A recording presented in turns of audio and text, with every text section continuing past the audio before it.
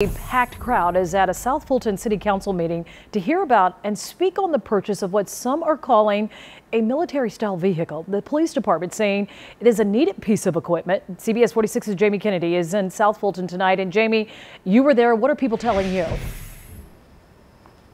Sean, well, homeowners here tonight at the meeting very concerned with the $400,000 price tag attached to this military style vehicle and also saying it's a bad look for the public for the police department to have military style equipment, calling it a tank.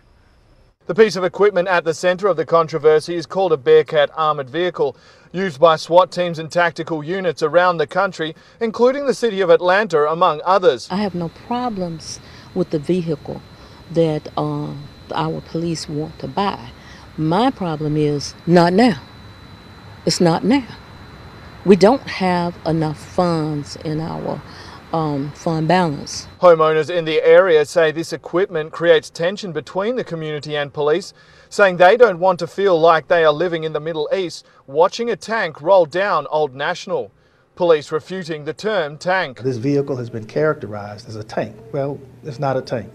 Um, in fact, it's nothing more than um, what our local banks use to carry out money to and from safe locations every day. The department making mention the fact the SWAT team has been used 19 times already this year, and at each scenario the Bearcat could have been utilised.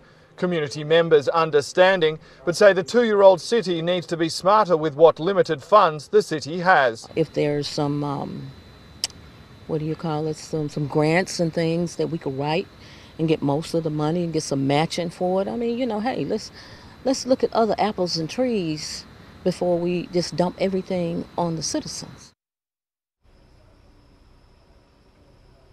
Now, council members are still inside at the moment debating whether or not this grant of $400,000 should be issued to police. Some saying that more time needs to be had to explore what other finances can be used to get this tank. Others saying, like the police chief, that this needs to happen now. We will stay on top of this and bring it to you on the app and online. For now, live in South Fulton, Jamie Kennedy, CBS 46 News.